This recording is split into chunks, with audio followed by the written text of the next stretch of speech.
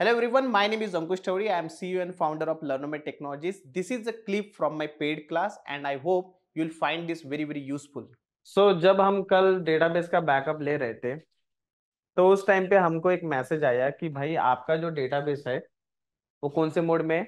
क्या मैसेज आया कि भाई आपका जो डेटा बेस है, कौन से मोड में? भाई लिखा था क्या? नहीं लिखा। भाई किसने लगाया? मैंने लगाया। क्योंकि मेरे को आदत है भाई लगा तो अभी हम लोगों को क्या करना है? हमारा डेटाबेस कौन सा मोड में? नो आर्कल एंड इसको हमको किसमें डालने का है? तो ये जो ऑपरेशंस है ये ऑपरेशन आपका जब मेरा डेटाबेस अप एंड रनिंग होता है तब का है कि डेटाबेस को डाउन करना पड़ेगा। डाउन करना सो so बेसिकली ये जो मेरा ऑपरेशन है ये ऑफलाइन है। अगर मैंने आप लोगों को बोला है कि जा डेटाबेस को डाउन कर ले तो आप कर लोगे क्या? सुनोगे कि मेरी? जब तक मैं आपको ईमेल पे नहीं दूँगा तब तक आप डेटाबेस को डाउन करोगे क्या? ईमेल मतलब व्हाट्सएप पे ईमेल क्या WhatsApp is something different okay and email मतलब ईमेल। तो इसको समझने के लिए हम लोग क्या करेंगे डेटाबेस को स्टार्ट करेंगे चेक करेंगे फिर आर्का लॉग मोड में डालेंगे okay let's do one so सबसे पहले मुझे किसको स्टार्ट करना पड़ेगा? किसको? सर्वर की भी पहले इसको स्टार्ट करना किसको? लिस्टर किधर से आया? बीच में आप। ये क्या होता है ना? क्लास शुरू होने के बाद में आप अपना लिसनर पहले शुरू करो।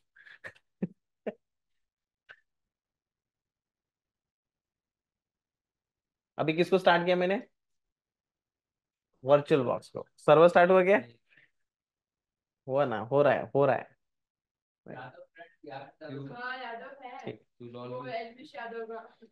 तो आप लोग अपने सैटरडे संडे किधर बिताते हो?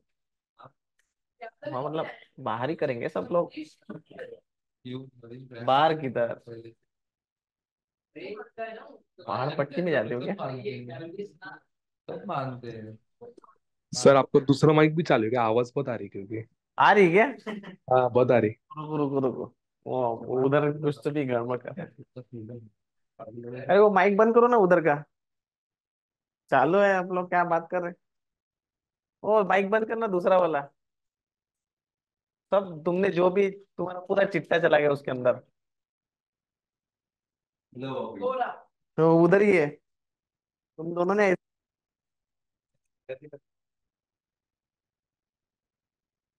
हाँ।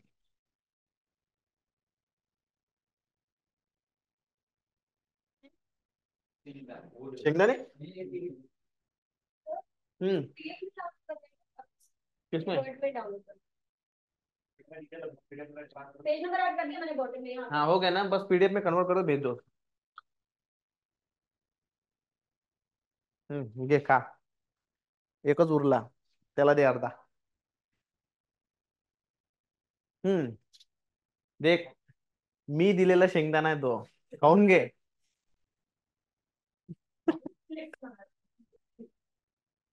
होऊ शकते त्याच्यातून सोनं निघाव. चलो। स्टार्ट करते सिस डीबीएम मतलब इसके पहले जितना भी रिकॉर्डिंग किया था, सब पानी में गया। मैंने रिकॉर्डिंग स्टार्ट किया था। सोचा कि थोड़ा कंटेंट मिलेगा। लेकिन फिर वो, उधर की भी आवाज़ आएँगी। किसको स्टार्ट किया मैंने? डेटाबेस को। तो मेरा डेटाबेस स्टार्ट है okay let me do one thing first of all हम लोग चेक करेंगे कि क्या मेरा डेटाबेस आर्का लॉग मोड में है या नहीं है। उसको चेक करने के लिए कमांड आता है आर्काइव लॉग लिस्ट तो मैंने जब आर्का लॉग लिस्ट वाला कमांड चलाया तो मेरा डेटाबेस कौन से मोड में दिखा? नो आर्का लॉग मोड पे। इसका मतलब अभी मेरे डेटाबेस में कोई भी आर्का लॉग जनरेट नहीं हो रहे और ये जो आपको दिख रहा है ना ये आपका आर्कलॉग डेस्टिनेशन होता है मतलब जहाँ पे आर्कालॉग्स आपके जनरेट होंगे। अब दिक्कत ये है कि अगर मेरा डेटाबेस नो आर्कलॉग मोड में ही है तो यहाँ पे आर्कलॉग जनरेट होंगे क्या? नहीं होंगे। सो so, सबसे पहले मुझे क्या करना है डेटाबेस को नो आर्कालॉग मोड में से आर्कलॉग मोड में डालना है। उसके लिए हम लोग क्या करेंगे इसका एक और ऑप्शन है select log underscore mode from V dollar database अगर मैं ये कमांड चलाता हूँ ना तो भी मेरा डेटाबेस कौन से मोड में दिख रहा है? नो आर्कालॉग मोड में। ठीक है? क्लियर है? अब। अब मुझे क्या करना है? इस डेटाबेस को कौन से मोड में डालना है? आर्कालॉग मोड तो सबसे पहले हमको डेटाबेस को क्या करना पड़ेगा? तो शटडाउन करने के पहले मैं समझता हूँ कि मैंने क्लाइंट को पूछ लिया है कि भाई, मैं इतने बजे अपना डेटाबेस को क्या करने वाला हूँ? शटडाउन करने वाला मैंने ये पूछ लिया उसको। तो सबसे पहले हम लोग क्या करेंगे? शट डाउन इमीजिएट मैंने डेटाबेस को शट डाउन मार दिया। अच्छा इसके पहले भी एक और ऑपरेशन परफॉर्म करना था, जो मैंने किया नहीं। अब मुझे क्या लगता है, मेरे जो आर्कालॉग्स है, वो कौन से लोकेशन पे स्टोर होने चाहिए? वो डिफ़ॉल्ट लोकेशन पे नहीं लेता हूँ मैं। मैं क्या करूँगा? M K D I R hyphen P slash data slash archive ये लोकेशन मैंने बना दिया। और इस लोकेशन को मुझे कहाँ पे पॉइंट करना है? यहाँ पे करना है। आर्कालॉग डेस्टिनेशन को चेंज करना है ओके तो सबसे पहले मैंने डेटाबेस को क्या कर दिया? शटडाउन कर दिया। अब डेटाबेस को आपको कौन से मोड में डालना है? माउंट स्टेज में। स्टार्टअप माउंट जब आप डेटाबेस को स्टार्ट करते हो तो डेटाबेस तीन स्टेजेस में से जाता है। कौन सी कौन सी? No mount mount open no mount में कौन सी फ़ाइल देखता है वो? माउंट में कंट्रोल फ़ाइल एंड ओपन में data files and online redo files fine अब मैंने डेटाबेस को माउंट में डाल दिया। सबसे पहले हम लोग क्या बोलेंगे उसका डेस्टिनेशन सेट करते alter system set log archive dest dest underscore one equals to location equals to location क्या है? Slash data slash archive slash data slash archive slash data slash archive scope equals to both इसका मतलब ये भी parameter है। कौन सा parameter है ये? दो टाइप के पैरामीटर्स होते हैं। कौन से कौन से? डायनामिक एंड स्टैटिक ये कौन सा पैरामीटर होगा? कौन सा? डायनामिक लॉग आर्काइव एक, कुछ तो भी मेरा सिंटेक्स में गड़बड़ हो चुका है। Alter system set log archive dest dest है वो। डेस्ट डेस्ट अंडरस्कोर वन इसके बाद में स्कोप इक्वल्स टू बोथ ठीक है? नहीं डेस्ट में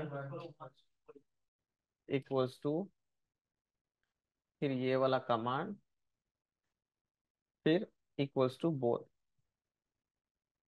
ओके अब अगर मैं आर्काइव लॉग लिस्ट करूँगा तो मेरा लोकेशन तो चेंज हो गया, लेकिन फिर भी मेरा डेटाबेस कौन से मोड में नो आर्का लॉग मोड में। अभी मैंने डेटाबेस को ओपन किया था, लेकिन कौन से मोड में ओपन किया था? माउंट स्टेज में।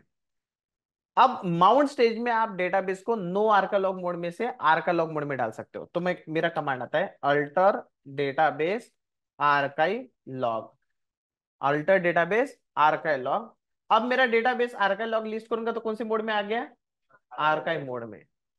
अब मैं क्या करता हूँ? मेरे डेटाबेस को ओपन कर देता हूँ। अल्टर डेटाबेस ओपन ओपन कर दिया। अब मैं जाके चेक करूँगा तो क्या मुझे यहाँ पे आर्काइव लॉग दिखेंगे? यस और नो हाँ? यस और नो तो यहाँ पे टोटल क्या दिख रहा? है ज़ीरो तो कब दिखेंगे भाई आर्कालॉग्स कब जनरेट होते? जब आपका लॉक स्विच होगा। लॉक स्विच कब होगा? जब आपका रिडोलॉग ग्रुप फुल हो जाएगा उस टाइम पे। लेकिन आप मैन्युअली भी लॉक स्विच कर सकते हो। लाइक like, अगर मुझे फोर्सफुली करना ही है alter system, switch switch, log file. Log file. ये मैन्युअली मैंने स्विच मार दिया, ओके? यहाँ पे अगर आप जाके देखोगे तो जो भी है उसके अंदर वो सारे के सारे आपके उसके आर आर्कालॉग्स बन गए। तो ये जो लॉक स्विच होता है ना, ये ऑटोमेटिकली होता है। क्या होता है? ऑटोमेटिकली देखो, अभी ये जो आपको दिख रहा है ना, ये जो आपको दिख रहा है, ये मेरी डेटा फाइल्स है। क्या ये? डेटा फाइल्स तो जैसे जैसे यूज़र बहुत सारे ट्रांजेक्शन करेगा, जैसे जैसे यूज़र बहुत सारे ट्रांजेक्शन करेगा, वैसे वैसे ऑटोमेटिकली लॉक स्विच करके यहाँ पे बहुत सारे आर्के जनरेट हो जाएँगे। एक सिचुएशन ऐसी आ जाएँगी, एक सिचुएशन ऐसी आ जाएँगी कि जो आपका स्लैश डेटा है, ये वाला, ये आपका, ये जो स्लैश डेटा है, ये वाला, ये आपका फुल हो जाएगा। समझे क्या? क्योंकि देखो, अगर मैं DF hyphen H slash data करूँगा तो मुझे क्या पता चल जाएगा? स्लैश डेटा का साइज़ पता चल जाएगा। लेट्स कंसीडर मेरे स्लैश डेटा के अंदर सेवेंटी जीबी स्पेस अवेलेबल है। तो इसका मतलब कितने आरके लग जा सकते हैं? सेवेंटी जीबी तक। उसके बाद में क्या होगा? ये माउंट पॉइंट फुल हो जाएगा। तो इतने सारे आरका लॉक के क्या ही करोगे? रख के। तो हम लोग क्या करते हैं? इस आरका लॉक का बैकअप ले लेते हैं। एंड जिस आरका लॉक का बैकअप हो गया उस उस जिस आरका लॉक का बैकअप हो गया, उस आरका लॉक को क्या कर देंगे? डिलीट कर देंगे। सो so बेसिकली जब हम जब हम बैकअप के बारे में डिस्कस कर रहे तो हमको एक और बैकअप लेना है। कौन सा वाला? आरका लॉक का बैकअप भी लेना है। लेकिन जब भी आपको बैकअप लेना है, उस टाइम पे आपको डेटाबेस को कौन सी मोड में डालना पड़ेगा? तो आरका मोड में डालना पड़ेगा। एंड ये ऑपरेशन ऑनलाइन है कि ऑफलाइन है? ऑफलाइन है। तो आपको समझ में आ गया डेटाबेस को आरका लॉग मोड में क्यों डालते हैं? क्या आपको ये समझ में आ गया कि आरका लॉग अगर यहाँ पे हो गए? अच्छा लेट्स कंसीडर स्लैश डेटा के अंदर हंड्रेड परसेंट आरका लॉग्स आ गए। पूरा का पूरा डेटाबेस मतलब ये स्लैश डेटा फुल हो गया। क्या दिक्कत होगी? डेटाबेस आपका हंग स्टेटमेंट चला जाएगा। हंग का मतलब क्या होता है पता है? लेट्स कंसीडर अगर आपका कोई एप्लीकेशन का जॉब चल रहा ना, वो भी बंद हो जाएगा। कोई यूज़र अगर कनेक्ट करना चाहेगा ना नहीं कर पाएगा। इवन कभी कभी तो ऐसा सिचुएशन आता है कि सीस यूज़र भी कनेक्ट नहीं कर पाता। समझे क्या? इसलिए हम लोग क्या करते हैं हमेशा मेक श्योर sure करते हैं कि ये आर्काइव लॉग जो डेस्टिनेशन है कुछ भी करके आपका फुल नहीं होना चाहिए। समझे क्या?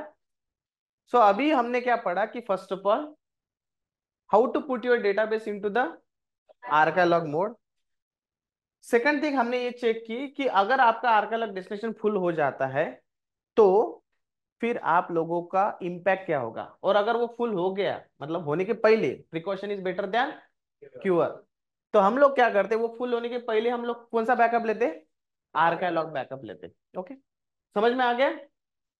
समझ में आ गया? Yes, समझ में आ गया? तो जिस तरह से इन लोगों को समझ में आ गया उसी तरह से अगर आपको समझना है तो आपको क्या करना पड़ेगा? जो नंबर दिया है ना, उस नंबर पे कॉल करना पड़ेगा। और कॉल करने के बाद में हम लोग क्या करेंगे? आपको पेड वाले बैच में भी डाल देंगे। क्योंकि इसके बाद में बहुत सारा कंटेंट आने वाला है। लेकिन ये कंटेंट मैं किसको बताऊँगा? आपको बताऊँ। आपको भी बता सकता हूँ, लेकिन आप लोगों को इसके लिए हमको क्या करना पड़ेगा? सब्सक्राइब करना पड़ेगा, है ना? I hope you guys have learned something valuable from this video. Please do like, subscribe and share this channel. You can also contact us for the paid training. You can also comment interested if you want the more video like this.